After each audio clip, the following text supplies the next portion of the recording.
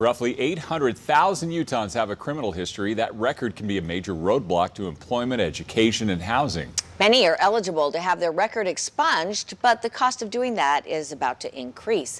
In a story you'll only see here on Fox 13, Scott McKane joins us live with how to take advantage of the lower fees before the time runs out. Good morning, Scott.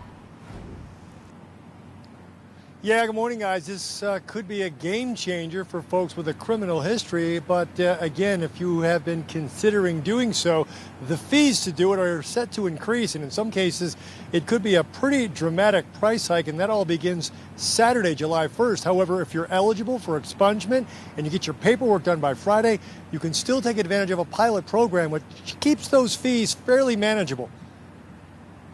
Even though he did the time for his crimes, paid court costs and restitution, Brock Smith says his past kept interrupting his future. You have to check that box off that says, hey, I have this criminal record. You still have this, this you know, criminal record that acts as a scarlet letter that prevents you from getting housing, you know, employment, just a bunch of different things. But he finally got his record expunged and no longer had to check that box.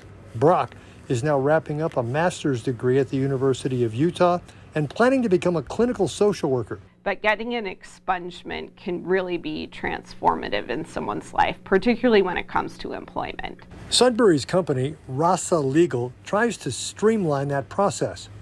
Folks like Brock can use Rasa's website to learn first if they're eligible for expungement. If they are, Rasa helps them essentially bundle their cases if they've fulfilled all their legal obligations. And so now that I don't have to check that box, it's a reminder that I'm free and it's the final stage of me completing that process of you know, reform and rehabilitation. Last year, Utah lawmakers made things easier by waiving government fees for one year as part of a pilot program. Folks could begin the process of clearing their criminal history for just $65. But that all ends this week, July 1st. After that, there will be additional certificate and filing fees.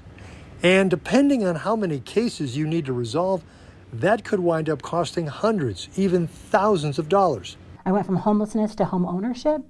I now uh, pay into the tax base. I now pay all my taxes. I can now give back to charities. So getting your record expunged changes somebody's life. But it cost Destiny about $3,000 to complete her expungement process. However, she was lucky and had coworkers pitch in financially to help out. Destiny, Brock, and Noella are now encouraging everyone out there to take advantage of the last week of this pilot program. If people have a criminal record, now is the time to apply.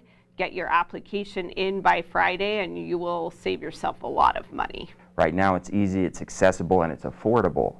And so take advantage of it. So if you have questions, concerns, think you might be eligible to have a criminal history expunged, there's a lot more information available at rasalegal.com, R-A-S-A legal.com.